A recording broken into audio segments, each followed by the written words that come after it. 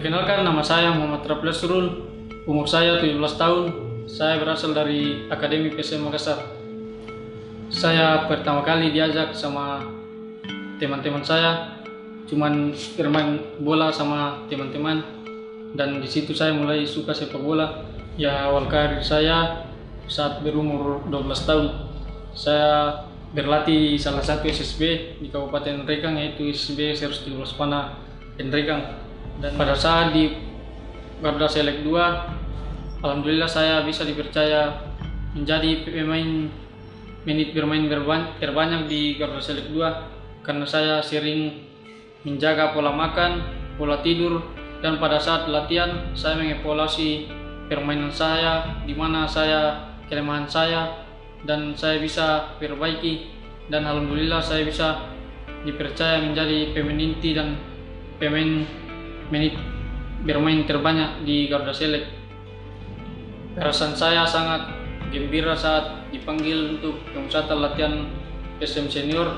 Saya sangat bangga karena banyak orang yang berada di sini dan saya salah satunya bisa dapat kesempatan berlatih bersama PSM senior dan apalagi di sana ada senior-senior yang bisa ajar kita lebih baik banyak pemain asing yang kita bisa ambil cara bermainnya. Dan yang saya bawa dari sana pola makan dan pola tidur itu sangat teratur. Ditambah latihan dua kali sehari. Alhamdulillah saya bisa dipanggil Garuda Select seleksi Garuda Select ketiga. Dan saya akan memanfaatkan semaksimal mungkin sekuat tenaga saya mungkin dan saya tetap minta masukan dari pelatih dan juga minta dua restu dari pelatih dan juga orang tua. Dan saya sering menelpon mereka apa kekurangan permainan saya dan di situ saya bisa mengevaluasi. Dan mudah-mudahan saya bisa terpilih di Garuda Select ketiga dan saya akan memanfaatkan semaksimal mungkin. Mudah-mudahan saya bisa bermain di klub luar negeri sesuai cita-cita saya sejak dari kecil saya sangat banyak belajar dari pelatih Akademi PSM Makassar. Dan tentunya saya sangat belajar dari mental cara bermain dan juga sistem kebersamaan di Akademi PSM Makassar yang tidak bisa saya lupakan. Dan berkat teman-teman saya Akademi PSM Makassar saya bisa jadi begini sampai sekarang.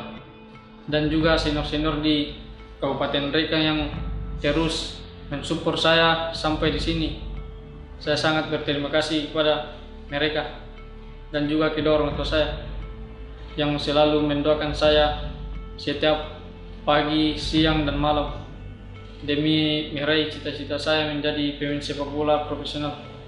Ya idola saya di tim Indonesia yaitu Rashid Bakri.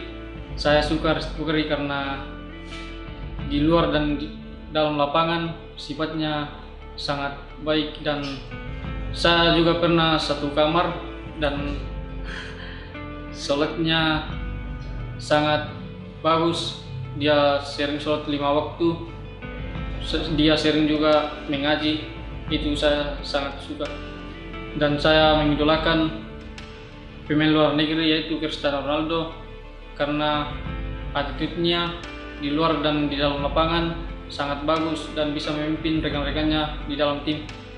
Dan dia sangat rendah hati dan tidak sombong walaupun dia berada di atas. Pada saat saya mau bertanding apalagi pertandingan pada pagi hari saya sering melakukan sholat duha untuk minta doa keselamatan dan kekuatan dan bisa bermain semaksimal mungkin. Dan saya sering dengar lagu saat berangkat ke pertandingan yaitu lagu Maluku, lagu Ambon dan juga lagu Inggris. Dan tentunya Atem PSM yang membuat saya bangkit semangat.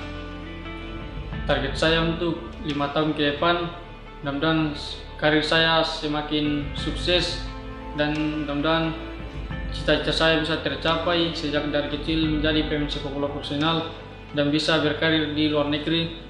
Dan saya sangat ingin dipanggil untuk membela tim nasional Indonesia Semoga saya bisa kepanggil masuk timnas nasional Indonesia dan bisa membawa juara.